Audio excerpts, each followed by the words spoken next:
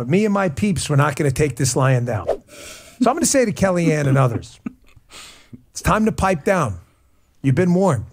Oh, sh- I've had about enough.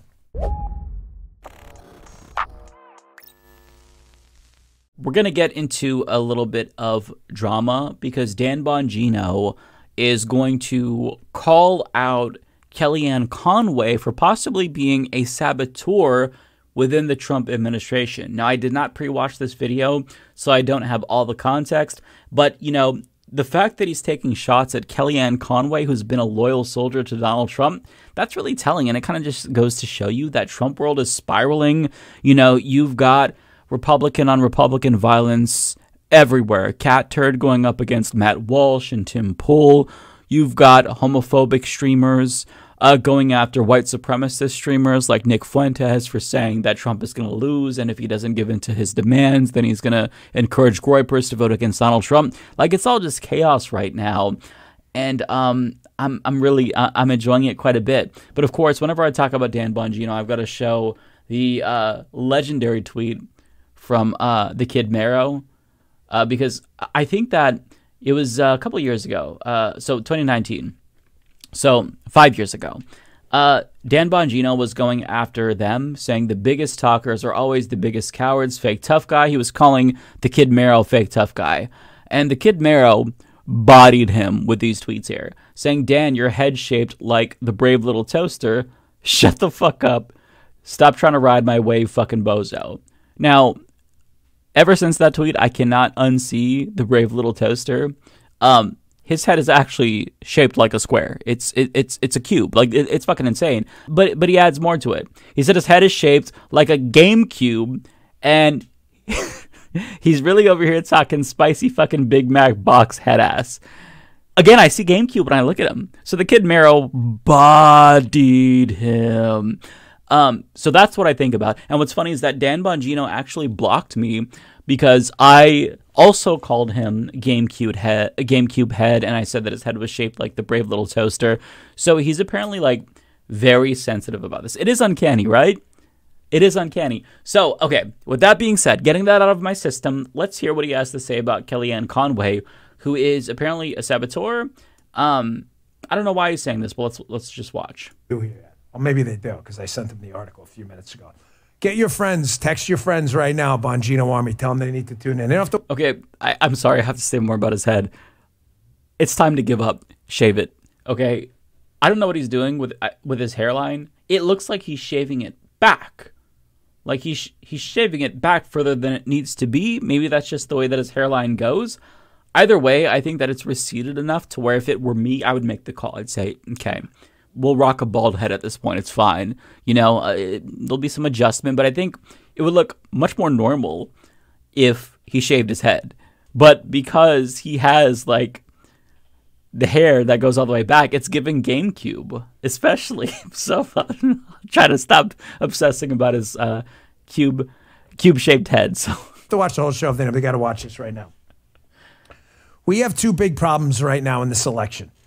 It's not the VP selection. It's not Trump's messaging. That's all bullshit. It's none of that stuff, okay? Are you sure? It's not Trump's messaging. You don't think that there's anything wrong with him speculating about whether or not Kamala Harris lied about being black? You don't think that there's anything that might turn off voters? Uh, you know, when he says, oh, she AI'd her crowds, you don't think there's anything wrong with that, Dan? Really?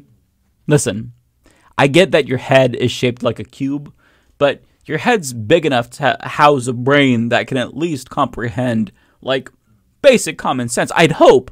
So, I mean, like, anybody can see the messaging is ass, okay?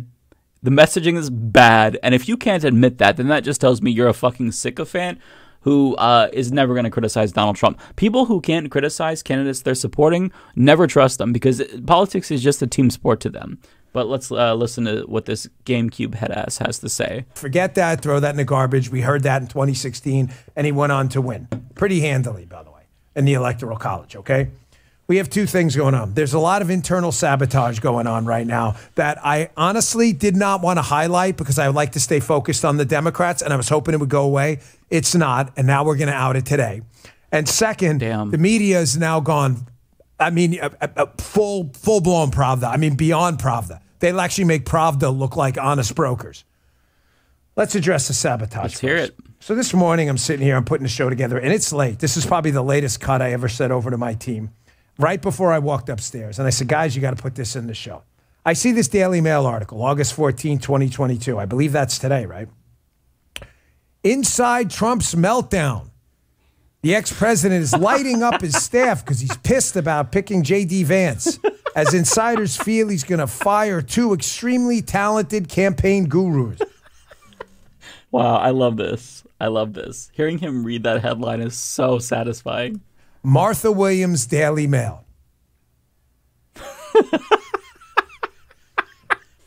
Again, I was going to let this go, not because I didn't want to put it out there or expose it, but because I want to stay focused on winning, and I felt like it was a distraction. And all I care about Sorry, he's being such a fucking drama queen right now.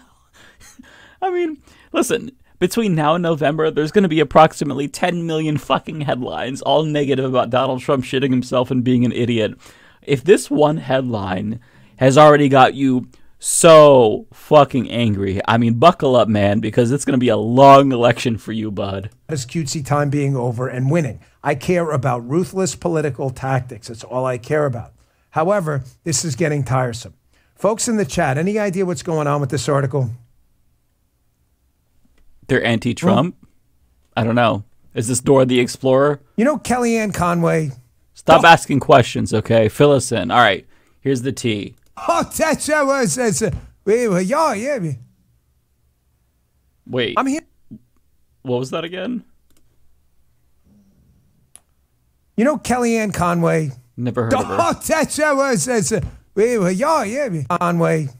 Oh, that's that was uh, oh, that's that was that's uh, I'm sorry. Am I am I am I missing something here? This man is this man is unri- he's unraveling. What the fuck? He's genuinely unhinged. Oh, that's that was that's uh, wait, wait, yeah, yeah. I'm hearing some This is low key how Biden sounded in interviews. oh god, I we're two minutes in, and I'm really enjoying this so far. Yeah, he's speaking in tongue in tongues. things from some things from some things from some people from some people for a while now that she's probably not that happy about JD Vance being picked. I mean, most Republicans aren't because he's a fucking disaster. Now I'm sure he's gonna explain more, but is the tea that like she doesn't like JD Vance because I'm sure that like everyone in Trump's circle is like, why the fuck did he pick this idiot? But we'll let him continue. I'm telling you, I talk to people a lot who know a lot of things. Okay. This story, put that headline up again, is bullshit. Oh, look at his eyes. Ladies and gentlemen, it's no secret I like JD Vance. Put that I'm telling you this with absolute objectivity. I have not spoken to JD Vance about this, but I have spoken to other people. This story about President Trump being upset about picking JD Vance is bullshit. It is absolute bullshit. He Listen, this could be a bullshit story. There's a bunch of anonymous sources. Oftentimes they're incorrect. They leak things to the press. They want to create a narrative. They want to, you know, um, put feelers out there to see how people are going to respond to something. It's possible that this story is not correct and Trump isn't lighting up staff because he's pissed about picking JD Vance. With that being said, though, is it plausible to assume that Trump is uh, feeling some buyer's remorse? Of course it is. JD Vance is one of the most unpopular vice presidential candidates in modern American history. He is less popular than Sarah fucking Palin. Do you know how bad you have to be to be less popular than Sarah Palin? Come on, man. Come on. I think Dan Bongino is just biased because he is a JD Dick writer and he can't fathom that, you know, Trump would be dissatisfied with this pick. But Trump is dissatisfied with the pick. There's the New York Times article where Trump was in a meeting with donors and he was asked about, you know, how do you feel about Democrats framing you as weird? And Trump's response told us everything we need to know. He said, they weren't saying that about me. They're saying that about JD or something, something like that. So of course he regrets picking JD Vance. And what I love is that you know since JD Vance was such a bad pick, Republicans tried to make it seem as if you know uh, Kamala made a comparably bad pick by choosing Tim Walz. I think the day after she chose Walz, Kellyanne Conway tweeted out, "Oh, it's Tim Walz. Oh, what a relief! Phew." So they're making it seem like, oh, she just fucked up so bad. Turns out Tim Walz is extremely popular and has the highest approval rating of everyone, even more so than Kamala Harris. So turns out Tim Walz, really good pick. JD Vance, not so much. His numbers continued to go down. So what he's saying here, like I understand that maybe the article is hyperbolic. Overall though, 0% chance Trump does not regret picking JD Vance. I think that's cope if he tells himself otherwise. He killed it on this weekend show. Of course, there was going to be an Oppo drop after JD Vance was picked. If they picked Rubio, Burgum, or any, or Tim Scott, or anyone else, there was going to be an Oppo drop.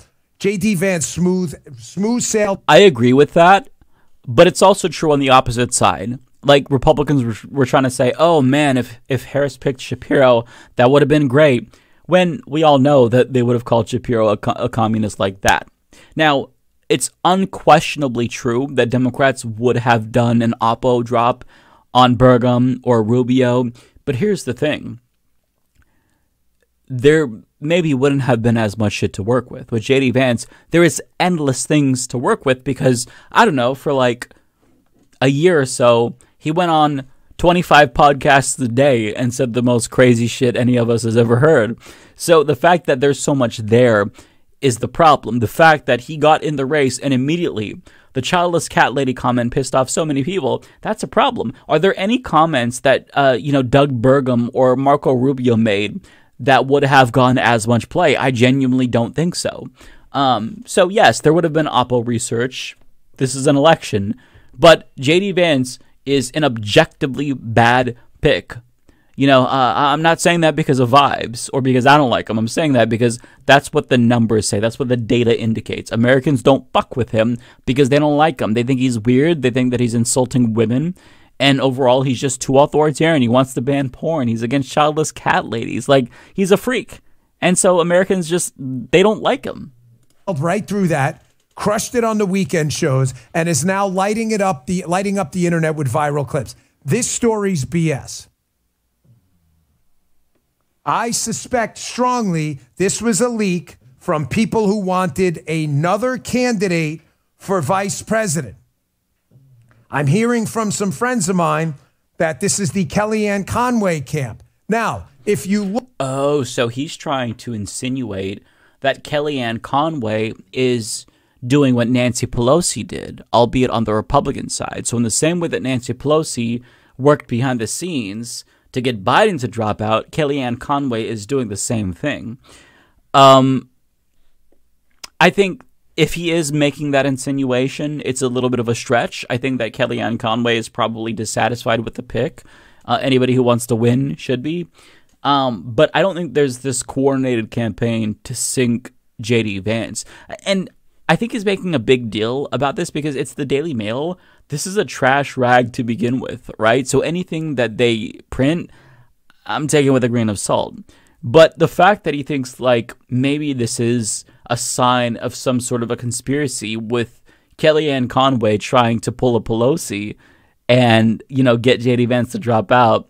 Uh, I think he's kind of reaching here. Uh, to be fair, I don't necessarily know if that's what he's saying, but he's heavily implying this look at Kellyanne Conway and where some of the money in that sphere is coming from, there is an interest in Ukrainian politics. And some of the other vice presidential candidates, are you guys picking up what I'm putting down? Some of the other candidates were very interested in a more muscular posture in Ukraine where there was a lot of money to be made for a lot of people. J.D. Vance is interested in a more cautious approach to Ukraine. So the money train may have dried up a little bit. So okay. The reason why this doesn't make sense is because doesn't Trump basically have the same position as JD Vance on Ukraine? So I mean if they got somebody else who was more of a hardliner on the issue, would that really make that big of a difference at the end of the day? Because Trump is going to take the same posture and be the same. I, see, this is why I think that he's reaching a little bit too much to say that this is a conspiracy, because I feel like if they wanted to get JD Vance out, I don't think that that motive makes sense to me. The motive would just be we want him out because he's bringing down the ticket. He's dragging down the fucking ticket. So get him off so we can win. I mean, look, we all saw what happened when, you know, Joe Biden was kicked to the curb. Kamala surged. So maybe they want to try to, uh, you know, see if that magic can happen for them. You know, kick off JD Vance, bring on Burgum, and then all of a sudden, you know, Trump surges. I don't think that a VP candidate would have that effect. Nonetheless, I think that they think it's worth trying, right? Now, I don't know logistically speaking if you can even get JD Vance off the ticket now because, you know, early voting, um, I think that's already started in some states. I'm not sure. But I mean, we're, we're, we're like two months away from the election, essentially, a little more than two months. So it's going to be hard to replace him, right? He's on the ticket already. But we'll let him continue. A lot of people are really upset. So instead of shutting the up, I'm Cringe. trying to get the language under control. Instead of just shutting up and trying to win now with this great ticket, there are people out there sabotaging the ticket right now because it looks like their influence wane. Because let's just say, is everybody picking up what I'm putting down? That they told other people, don't you worry, I'm going to get this guy picked as VP, and don't you sweat that Ukraine thing. Okay, his energy is giving Charlie in the mailroom. Um, I think that if if he wanted to argue that Kellyanne Conway is trying to sabotage JD Vance, you can make this case without being so hyperbolic. Um, and also the way that he's he's doing it is getting very goofy. You know the uh, the word vomit, the uh, the weird sounds he's making. I don't know. He's not he's not convincing me.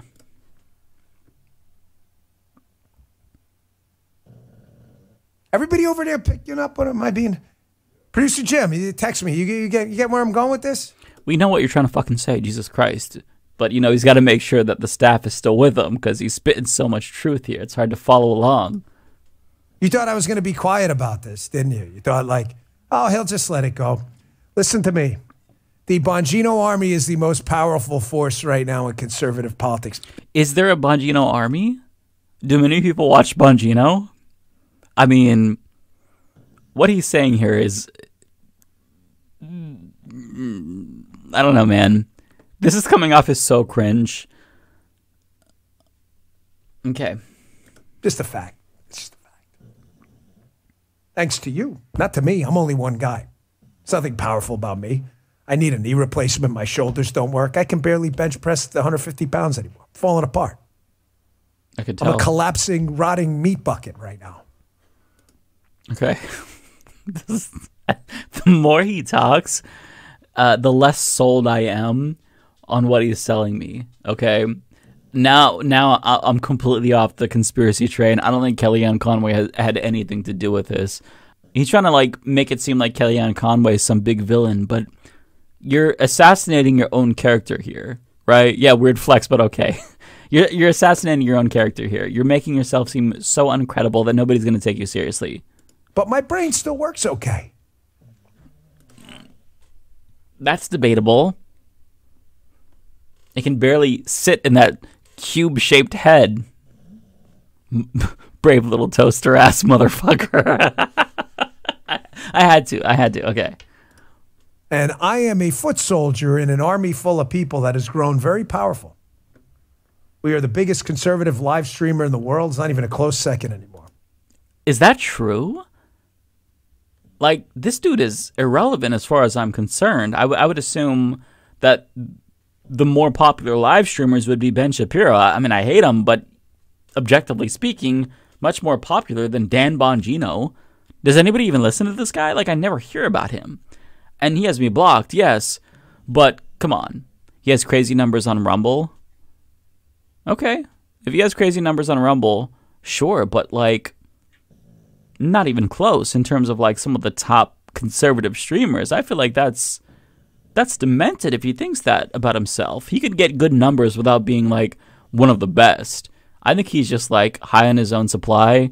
Uh, I don't know. Uh, and what is all of this like autofellatio have to do with the conspiracy about Kellyanne Conway? Like, I, I don't understand why he has to hype himself up. You don't have to like it. I don't really give a shit. But me and my peeps, we're not going to take this lying down. So I'm going to say to Kellyanne and others, it's time to pipe down. You've been warned. Oh, shit. I've had about enough. JD Vance was a great pick.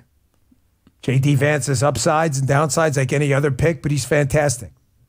He's been doing great, and the leaks got to stop. You know that story's bullshit. The president, they love JD Vance. You're making this up. These are leaks designed to sabotage the campaign because there's a whole lot of money to be made by making sure you get people interested in funding your endeavors in that position. I'm Really sorry to have to bring this up, folks. We should be focused on winning. But according to this article I saw this morning, which that's it, rope, end of it, I'm done. That's really stupid. Let me let me check Kellyanne Conway's Twitter. How does she respond? I would like to see a retort from her. Oh, she hasn't tweeted since August 9th. And then she she shared this video of her appearance on Fox News and you have the player and then the video is like really teeny Act a little bit as the attack dog on the other side. What Vance did yesterday This is such a boomer thing to do. Like, what the fuck is this? So I guess we don't have a response. Let me check her replies really quick just to be sure.